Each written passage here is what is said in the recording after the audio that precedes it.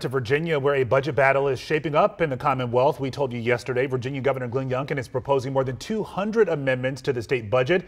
Well, Democrats also have some power here. They control both chambers of the General Assembly. So, how could this impact you, Virginia voters? Our Simone D'Alba spoke with Governor Youngkin about his path forward. Hi, Simone. Hi. Zoe, the potential for a budget veto is not entirely off the table here. Important to keep that in mind. Governor Youngkin will have to find a way forward with Democrats, but is that possible? Given how contentious this session has been, one thing we know about Virginia politics, anything is possible. Here's part of our conversation today. If you and the General Assembly cannot come to a consensus, will you be vetoing the budget? Well, I, I think it's premature because I think we can come to consensus.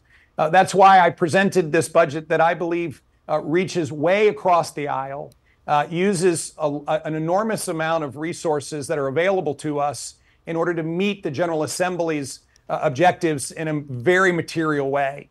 You've issued an unprecedented number of vetoes this session, the most of any single term by a Virginia governor. And speaking specifically here to Virginia voters, how do you assure them that you and the Democrats are going to be able to find a bipartisan path forward with this budget? The General Assembly sent me uh, 1,046 bills.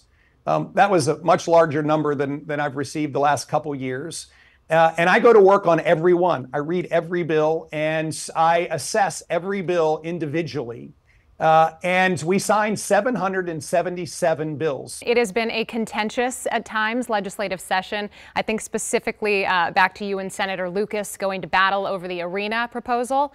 Um, and I'm, I'm wondering here, you've called it a common ground budget.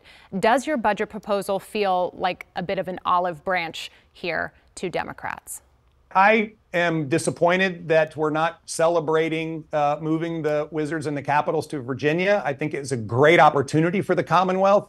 But the reality is, we've got to move forward and not look backwards. You never got anywhere by looking in the rearview mirror.